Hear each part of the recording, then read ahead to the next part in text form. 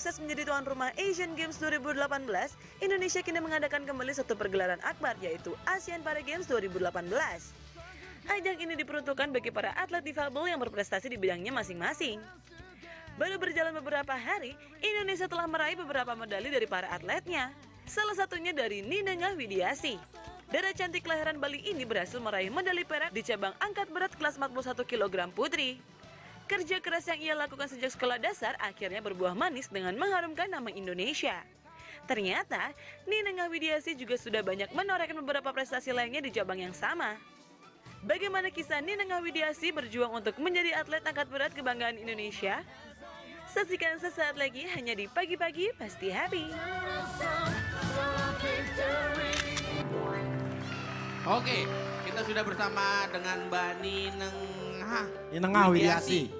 Atlet angkat berat ASEAN Para Games. Tuh. Ini kita ada artikel, kita lihat dulu artikelnya. ASEAN Para Games 2018, Nineng Rai medali perak untuk Indonesia. Nah, jadi ini kelas angkat berat kelas 41 kg ya. Itu eh, medali perak berapa pada saat itu? Eh, medali perak yang kemarin saya tanding Iya. hari Minggu, medali kedua untuk Indonesia. Medali kedua untuk Indonesia. Wow. Wow. Hebat. Terus awalnya mengenal angkat besi itu sejak kapan? Sejak eh, kelas 6 SD.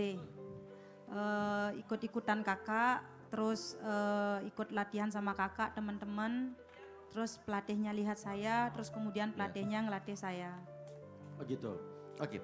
Oh boleh tahu, kamu mengalami eh, disabilitas seperti ini itu sejak kapan? Sejak umur 3 tahun. Jadi Ya.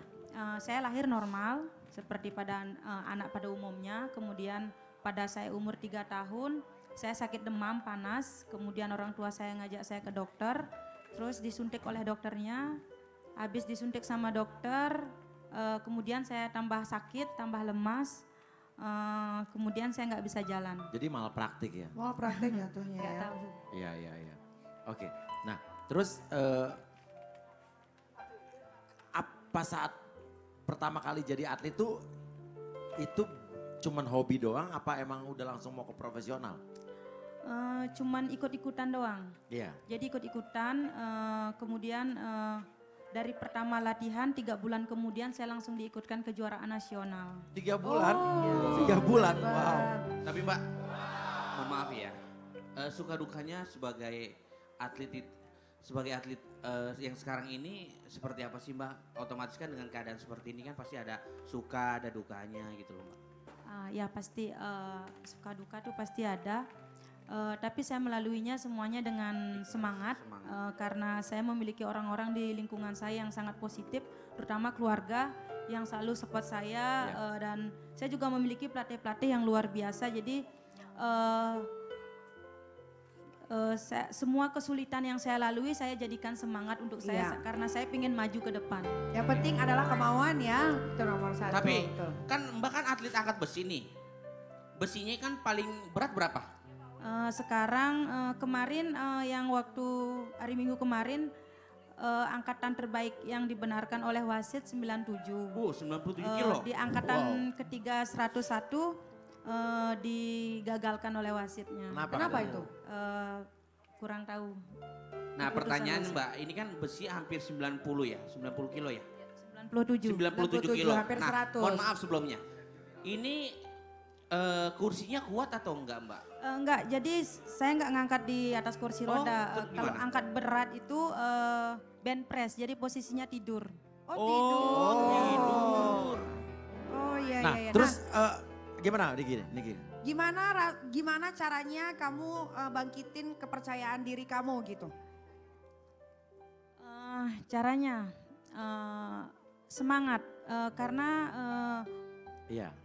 Saya nggak mau saya nggak mau eh, terpuruk dengan keadaan saya apalagi saya dari kecil kayak gini jadi eh, saya nggak tahu saya tidak pernah tahu rasanya bagaimana rasanya bisa berjalan Iya, normal saya iya, nggak tahu rasanya dari kecil saya Iya. udah jadi atlet, jadi fokus saya sekolah dan latihan. Jadi Iya. saya nggak pernah ngeras, eh, nggak pernah mau yang namanya terpuruk karena Betul. keluarga saya, orang tua saya selalu bilang lakukan sesuatu yang berarti buat kamu. Jadi Betul. Tua. ya orang tua saya selalu bilang gitu, jangan pernah lihat kondisi kamu, kamu tidak berbeda, tapi kamu spesial. Kamu Betul. harus kamu harus berbuat sesuatu untuk dirimu sendiri. Yang bilang siapa? Bapak atau ibu? Eh, ayah ibu saya. Ayah ibu.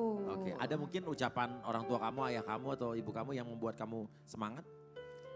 Ya, ayah eh, apa ibu saya sama ayah saya selalu bilang eh, apa namanya? Dulu waktu kecil saya sering ngerasa berbeda. Oke. Waktu saya masih usia-usia SD kayak gitu. Eh, saya pernah juga nanya sama ayah saya eh, waktu itu saya belum ngerti ken- kenapa sih dengan kondisi saya, what Oke. happened kayak gitu.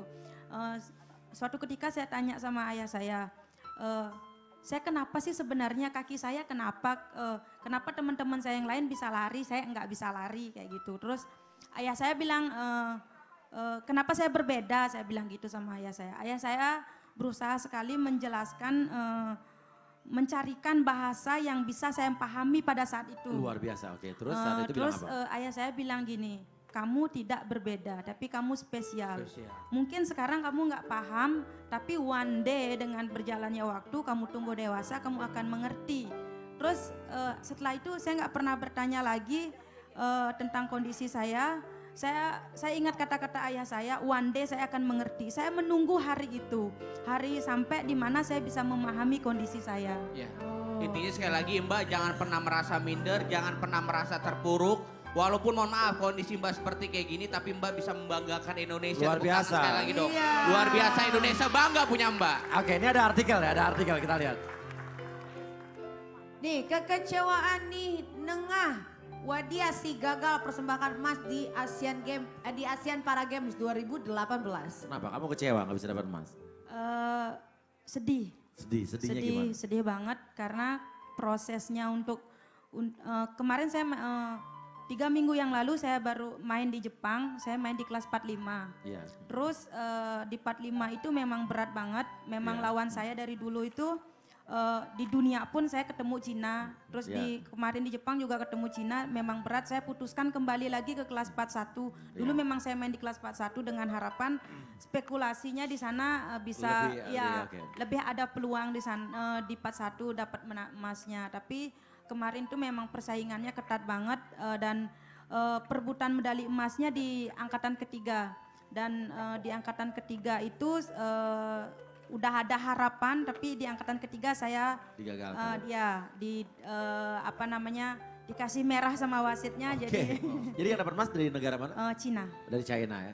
Oke. Di, di Para Games ini Mbak kelas berapa?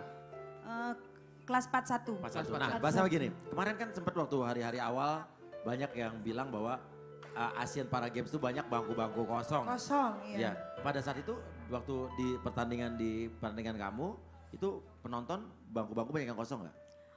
Kalau waktu hari pertama saya tanding itu saya ngelihat sekilas karena saya fokusnya bagaimana Iya. besi itu keangkat banyak banget yang nonton rame banget yang nonton rame ya, iya. banget tapi eh, nggak tahu karena tapi yang saya lihat itu pada rame banget sih karena banyak banget juga yang bawa bendera merah putih yang Wow. teriak-teriak nama saya jadi saya lihat sih penuh Penuh, luar Iya, biasa. iya. Nah berarti Tapi ngomong-ngomong, untuk tapi- pertandingan yang lain kalau bisa juga didukung, disupport ya. Betul Iya. sekali. Iya.